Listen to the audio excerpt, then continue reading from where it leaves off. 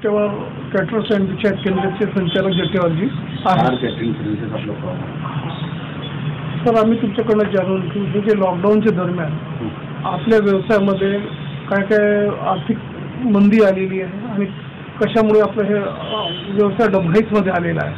काय अडचणीचा तुम्हाला सामना करावा लागला त्याबद्दल सांगा. कसं आहे लॉकडाऊन झाल्यापासून गव्हर्नमेंटनी कोणतीही अशी प्रतिक्रिया आमच्याबद्दल दिली नाही. कॅटरिंग क्षेत्राबद्दल. मुख्य म्हणजे हा जो व्यवसाय आहे हा कोणत्या एका व्यक्तीने करण्याचा व्यवसाय नाही. सोबत चार व्यक्ती चार स्थायी स्थायी कर्मचारी घेऊन करणारा हा व्यवसाय सर्वात प्रथम याच्यावर तर जे स्थायी आणि अस्थायी कर्मचारी यांच्या पोटावर सर्वात मोठी लाभ केलेली आहे कारण आज काम नसल्यामुळे एकतर अस्थायी कस्टमर गावाला निघून गेले. अस्थायी जे आपले कर्मचारी आहेत ते सर्व गावाला निघून गेले. आणि जे स्थायी कर्मचारी आहे त्यांना आता महिनेवारीचे पैसे द्यायचे कसे? हा एक मोठा प्रश्न आणि लॉकडाऊन ह्या काळामध्ये सारशी परिस्थिती जी आहे ती खाली खालीच चाललेली आहे. वरती काही येत नाही. नागपूर शहर अजूनही कन्फर्म्ड याच्यात आहे कोरोना त्यामुळे अजूनही आम्हाला शहरातील कमिशनरकडनं किंवा कलेक्टरकडनं कोणती जागा आणि कोणतंच रिलॅक्सेशन मिळालं नाही. झाला आर्थिक प्रश्न. आर्थिक प्रश्न म्हणजे वर्षात चार महिने जे असतात आमचे फरवरी मार्च एप्रिल मे आणि जून. जूनपर्यंत हा जो व्यवसाय आहे हा व्यवसाय हळूहळू कमी होत असतो.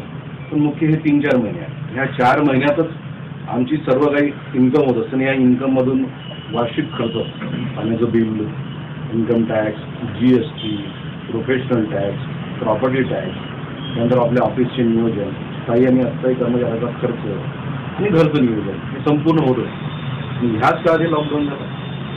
लॉकडाऊन झाल्यानंतर समस्या पहिले लहान होत्या त्या होता होता होता होता एवढ्या मोठ्या होऊन गेलेल्या आहेत. तर त्या आता आमच्या हातात आल्या आजच तुम्ही पेपर वाचला असेल महादुले कॅटर्स त्यांनी सुसाईड केलेलं आहे.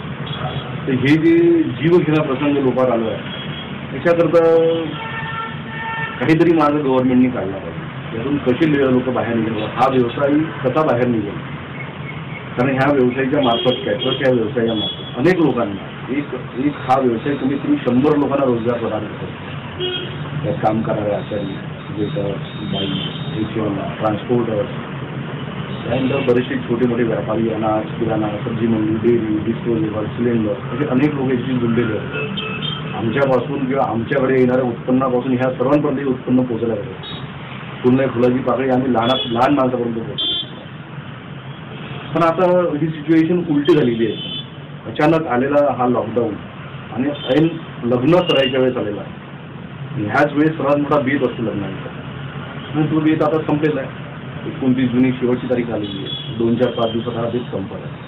आता जर जवळपास जूपर्यंत अंधारा अंधार दिसतो त्यात करायचं कसं लॉकडाऊन नंतर महाराष्ट्र सरकारने काही शिथिलता तुम्हाला प्रदान केली व्यावसायिकांना. पन्नास लोकांचे जे निर्बंध घातलेला आहे तर त्याप्रमाणे तुम्हाला असं वाटतं का? आता हॉल तर चालणारच नाही. ते बाहेर जे तुमचे कॅटरर्स जे सर्व्हिसेस तुम्ही देताय पन्नास लोकांना ते पुरेसर आहे का तुमच्यासाठी तुमच्या व्यवसायाला? कसं आहे हा व्यवसाय जो आहे हा लहानात लहान लोकांपासून मोठ्यात मोठ्या लोकांपर्यंत करणारा व्यवसाय आहे. फक्त कसं की पन्नास लोकांसाठी जी सध्या डिमांड्स आहे त्या लोकांची. ती डिमांड शंभर लोकांची आहे आणि काम करणारे लोक हजार आहेत. आणि त्यामुळे कसं होतं की लोकांचा जो दृष्टिकोन आहे पहिले कसं राहायचं की बा कार्यक्रम देताना तो म्हणजे पूर्ण उत्स्फूर्तीने आम्हाला कार्यक्रम द्यायचा. कारण त्याला काहीतरी मोठं राहायचं एक शक्ती प्रदर्शन करायचं राहायचं. पण आता ती मनोभावी त्याची परिस्थिती राहिली नाही.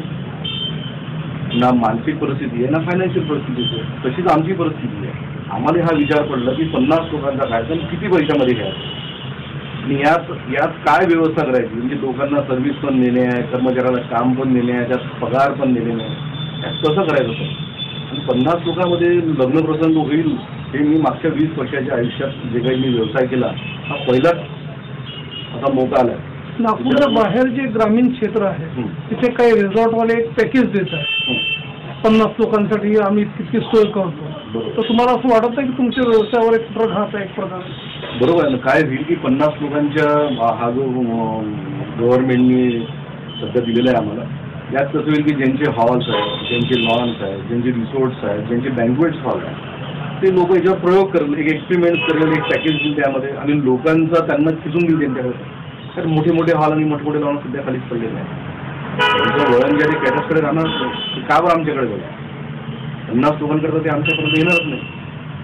हॉल आणि ते.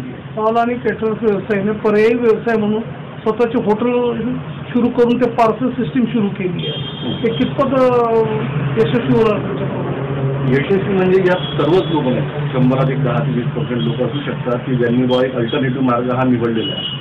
पण पार्सल सिस्टम हा जो व्यवसाय आहे हा सध्या शिथिल आहे. कारण लोक बाहेरचं जी खानावळ आहे तर हॉटेलिंगपासून परचेस आहे ते लोक सध्या कन्सिडरच नाही कारण लोक कोरोनाच्या प्रादुर्भावामुळे बाहेरून येणार नाही जे लोक आहेत त्यांना टाळत आहे. त्यामुळे बाहेरून येणारे माल पण टाळायचे त्यामुळे व्यवसाय तर त्यांनी उघडला आहे पण त्याचं नियोजन त्यांना करता येत नाही. केटरर व्यवसायाच्या माध्यमातून आपल्या असोसिएशनाच्या माध्यमातून आपण जिल्हाधिकारी भेट घेतली होती शिष्टमंडळाला निवेदन दिलेलं होतं. आणि गडकरी साहेबांनाही भेट घेतली होती बंडूराव साहेबांनी काही तोडगा निघण्यात काही चान्स आहे का? त्यांनी आश्वासन असं दिलं आम्हाला की बा एम एस एम ईच्या मार्फत प्रधानमंत्री साहेबांनी आम्हाला वीस लाख करोडचं पॅकेज दिलेलं आहे. पण त्यात का कॅटरिंग करता काय तरतूद केलेली आहे? ते कोणत्याच व्यक्तीने कोणत्याच पॉलिटिशियन कोणत्याच राजनैतिक लोकांनी आम्हाला सांगितलं नाही.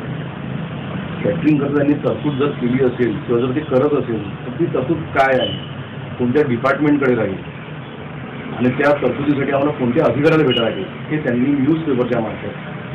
त्यानंतर तुमच्या मीडियाच्या मार्फत काही एखादं नोटिफिकेशन काढून त्यांनी आम्हाला सुचवलं पाहिजे. कारण हा व्यवसायी आता कामाने जर थकला आपण पैशाने थकलो. महाराष्ट्र सरकारच्या महाराष्ट्र बिगिन अगेन अनलॉक दोन मध्ये तुम्हाला काही असं वाटतं का? तुमच्यासाठी काही तरतूद राहणार व्यवसाय मागच्या जवळपास नव्वद दिवसामध्ये जे काही न्यूज पेपर्स मी हाताळले त्यात फक्त कॅटरिंगवाल्यांच्या व्यथा सांगणार आहे. तरतूद तर अजून कोणी दिलेली नाही. एकाही राजनीतिक एकाही सामाजिक व्यक्तीने कॅटरिंगचा तरतूद दिलेली नाही. त्यामुळे अपेक्षा करू शकतो की बा अनलॉक दोनमध्ये काही ना काही आमच्याकडे तरतूद करेल. पण थोडंसं वाटत नाही की बा हे शंभर पर्सेंट खरंच आहे. असं होईल म्हणून. आशा पुढे आपल्या व्यावसायिकांची काय वाटचाल काय तुमची मागणी आहे त्याबद्दल? व्यावसायिक आता वेट अँड वॉचच्या भूमिकेमध्ये आहे. आम्हाला अजूनही आम्ही आश्वस्त ह्या गोष्टीबद्दल की काही काळाने कोणतीच गोष्ट परमनंट नसेल एव्हरीथिंग इज टेंपररी करोना पण हा टेंपररी काही काळापुरता आहे. त्यानंतर पुन्हा आम्हाला एक नवीन सूर्योदय आम्हाला मिळणार आहे. आम्ही त्याची वाट बघत आहे जेणेकरून आम्ही फुल फ्लेजमध्ये आपलं काम सुरू करू. आता आपलं वेडिंग सीझन पण गेलं लग्नसरीचे पण सीझन गेलेलं आहे. आणखीन आणखीन ही जी स्थिती आहे पूर्वत होण्यासाठी किती वेळ लागेल? म्हणजे शंका एक अंदाज असा आहे की डिसेंबर महिन्यापर्यंत आम्हाला काम सुरू. मार्च महिन्यापासून म्हणजे मार्चच्या बावीस मार्चपासून डिसेंबर महिन्यापर्यंत आम्ही कामाची अपेक्षा सध्या करू शकत नाही. कारण कसं लोकांचं मनोबल तुटलेलं आहे. लोकांना असं हॅमरिंग झालेलं आहे. की हा कोरोनाला एक दोन वर्ष झाला. त्यामुळे लोक आमच्यापर्यंत पोहोचणारच नाही. लोकांनी आता कसं केलं की बा मुहूर्त आहे म्हणून त्यांनी पन्नास लोकांमध्ये लग्न करून निपटून टाकले. आणि नवीन लग्नाचा जो भार आहे किंवा नवीन लग्नासाठी जो कार्यभार ते स्व- स्वीकारणार आहे त्याच्याकरता सध्या कोणाचीच मनस्थिती नाही. लोकांनी ठरवलं आहे की जोपर्यंत पूर्णपणे आपण कोरोनातून बाहेर येऊ तोपर्यंत असे मोठे संस्था आपण का लॉकडाऊनच्या दरम्यान लोकांमध्ये पुष्कळ पॅनिक होतं कोरोना संक्रमणाबद्दल. लोक पुष्कळ भयभीत झाले होते. तर अशात तुम्ही आता एक कॅटरर्स आहात. तर तुम्हाला काही पॉलिटिकल पार्टीने अप्रोच केला की म्हणजे आपण आपले फूड किट्स वाटप करायची आहे किंवा एक सेंट्रल किचन आपण उभारून लोकांना मदत करावी किंवा तुम्ही स्वयंस्फूर्तीनं काही काही योगदान दिलेलं आहे त्याबद्दल. स्वयं आणि स्वयंस्फूर्तीने असोसिएशनच्या मार्फत यात आम्ही योगदान दिलेलं आहे. आम्हाला बऱ्याचशा लोकांनी आम्हाला पॉलिटिकल नाही पण सामाजिक ज्या संस्था होत्या तुम्हाला सांगू इच्छितो की जट्टेवार सभागृह आमचे हॉल आहे. तिथे कॉर्पोरेशननी जवळपास दीडशे अस्थायी कर्मचारी यांना थांबवलं होतं. तर त्यांना तिथे ज्या बेसिक सुविधा लागत होत्या ते आम्ही त्यांना प्रोव्हाइड केल्या. ते आमच्याकडनं आम्ही त्यांना प्रोव्हाइड केलं आम्ही त्यांना हॉल प्रोव्हाइड केला राहण्याकरता झोपण्याकरता याद्या जी काही व्यवस्था आमच्याकडनं होऊ शकत होत्या सॅनिटायझेशन ते आम्ही त्यांना प्रोव्हाइड केलं. लोकांमध्ये आज पण कोरोना संक्रमणाबद्दल पॅनिक आहे. अशात कोरोना बाधितांची संख्या पण गुणाकार ही वाढत आहे अशा तुम्ही तुमच्याकडनं लोकांना एक सावधगिरी म्हणून एक जनजागृती म्हणून तुम्ही काय मेसेज देऊ देऊ इच्छितो?